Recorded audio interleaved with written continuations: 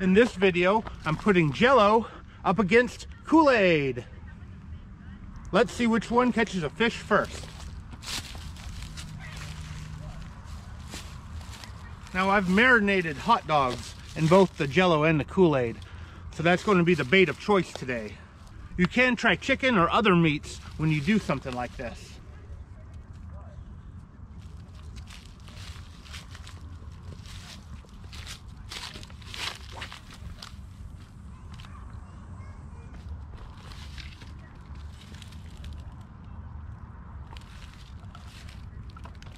I'm using a premium hot dog as well, so it stays on the hook better.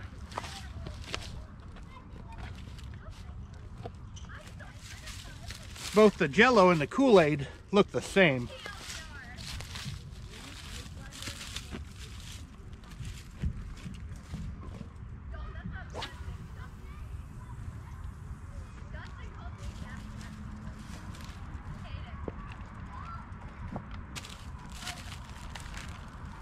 Lost some of the jello on the ground.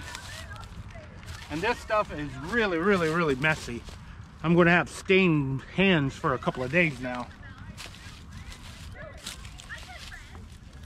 The jello is the one closest to the camera, and the Kool-Aid is the one furthest away from the camera.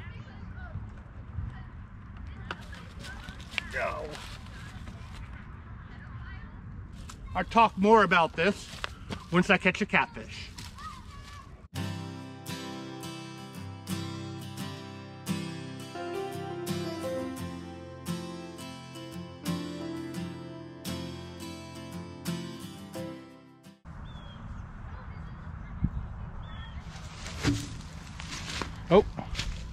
Jello got hit first. Oh, it might be on too. Yep. Kind of expect expected uh, Jello to catch the first fish. And I'll tell you guys why once I get this guy in. If I get him in. Awesome.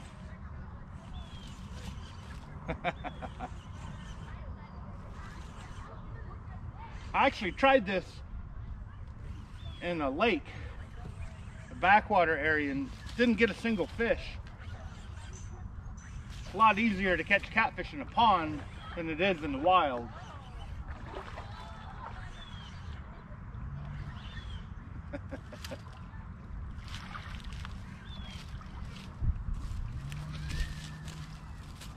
Channel catfish.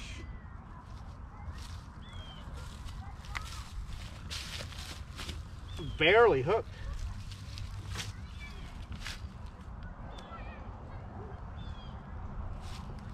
Jello hot dogs worked. Nice little channel cat.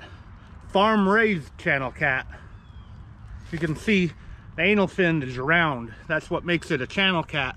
And the younger ones like this one, they have all these dots on them. Cool. Is cold too. The water's really cold.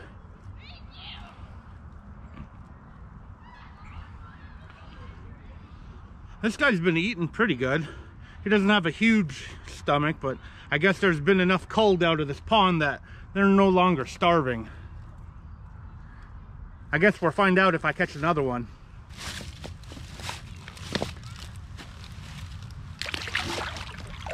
Other way, other way.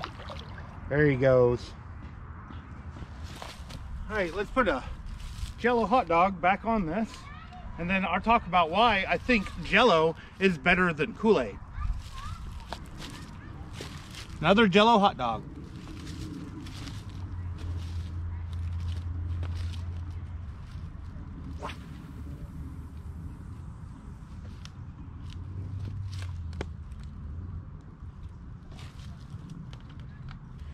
All right, let me tell you the ingredients of Kool-Aid first. Citric acid, salt, red 40, calcium phosphate, and then less than 2% of a bunch of other stuff. There's really nothing in this. I mean, it's a dye and salt and a little bit of vitamin C. Now, Jello has sugar, gelatin, some type of acid, and less than 2% of a bunch of other stuff. Gelatin is an actual animal product and it has amino acids in it. One of you posted in a video in the past saying that Jello has some of the same amino acids as bluegill. Now I tried to verify that, but I couldn't. What I did find is some of the amino acids in gelatin are the same as some of the amino acids in bluegill. So there is some truth to that. There's also something else about gelatin and jello that makes it better take some jello and freeze it. And after a week in the freezer, unthaw it and eat it. It will taste disgusting. And that's basically the same thing for like skipjack. If you freeze skipjack, you are less likely to catch flathead catfish and stripers. I think flatheads and stripers like things that taste good. That's why fresh is always best when it comes to flatheads and stripers. Now, blue catfish and channel catfish, they really don't care. They eat just about anything. I had a frozen, freezer burned piece of skipjack that caught a 25 pound catfish in the past. Not only did it have freezer burn, I got it from somebody who uh, had it out on concrete like overnight. They gave me their leftover skipjack. I took it home, I froze it. Then I took it out and fished with it. And then I froze it again and then I took it out and fished with it again and caught a 25 pound blue. Now someday I might try to get some just gelatin and try putting it on frozen skipjack to see if I could get flatheads to bite. Pull the frozen skipjack out of my freezer, go to an area where I catch flatheads all the time, and then put gelatin on it and then toss it out there and see if that makes them bite the bait. Now I have caught flatheads on frozen bait before in the past. And that's probably because I vacuum seal all of my skipjacks that I freeze. I catch the skipjack fresh, I try to put it in a salt, brine, water, ice mix to instant freeze them. Then I take them home, vacuum seal them, and put them in the freezer as soon as possible. Trying to have the best possible frozen bait. So what do you guys think? Am I right about Jello being better than Kool-Aid? This is literally the debate of the century and people will still continue to debate on it even after this video. Or at least people will continue to ask if Kool-Aid is better than Jello on their chicken. And to be brutally honest, neither. Unless you like having red dye all over your hands all the time. In fact, it's always better to use what's in the water. Try to catch a crawfish, try to catch a bluegill, skipjack, shad, but I do understand there's some times where you just can't catch anything, so you got to go to the store. And if you're dealing with pond catfish, hot dogs are just fine. Now let's see if I can actually catch another catfish.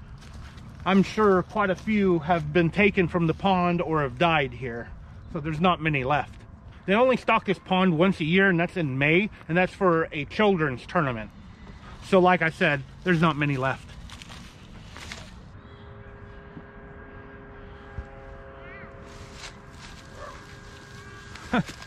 Jello hot dog again.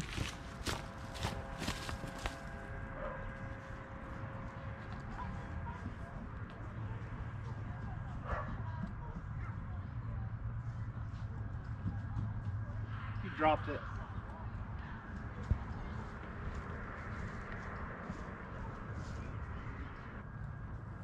Might be able to tell now which one they like the most.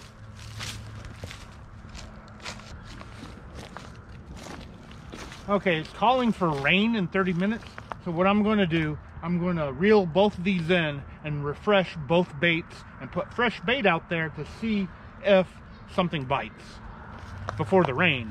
I'm also going to play switcheroo. I'm going to put the Kool-Aid on the right side and the Jello on the left side just to see if there's a difference.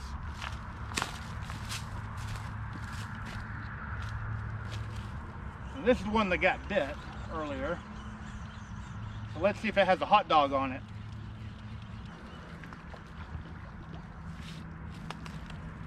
Still has the hot dog. We're going to put a Kool-Aid hot dog on this one.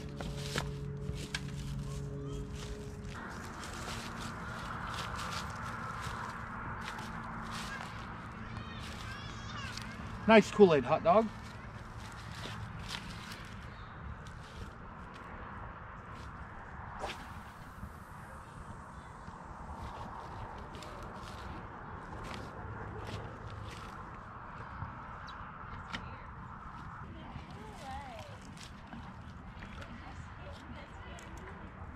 Well, that could be a problem. no hot dog.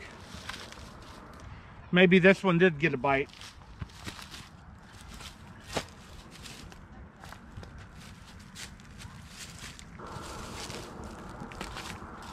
All right, jello hot dog on this one.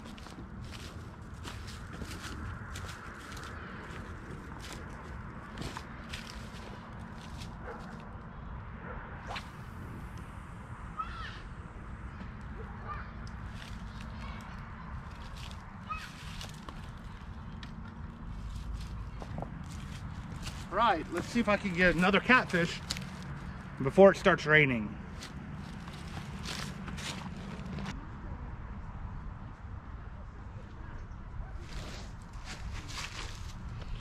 Oh, there's a peck on the Kool-Aid.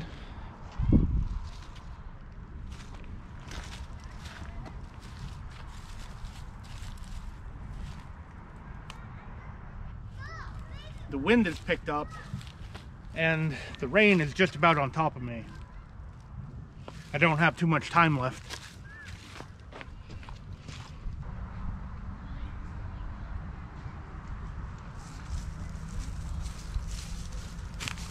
Jello hot dog. Whoa. Willing to drag.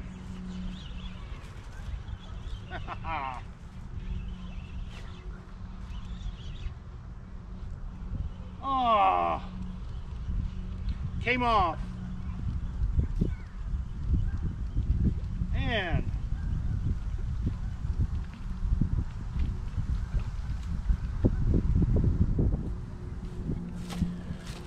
Well, that happens. Sometimes you lose the fish. On that note, I'm about to get rained on, so I'm gonna pack everything up and get out of here. That includes all my trash. Please don't leave trash at the lake, pond, or river. Now, I do want to hear your guys' thoughts about Jello and Kool-Aid. Just leave them in the comments below. As always, I want to thank you for taking your time out of your day to watch my video. I really, really appreciate it. And if you would do me a huge, huge favor, if you see anybody asking about Jello or Kool-Aid anything, share this video with them so they can learn more about Jello and Kool-Aid. It's basically salt versus gelatin, which is better. And as you saw here today, they really wanted the Jello hot dogs. Now, if I could only replicate this at an actual lake or river, maybe next time. Thanks again for watching.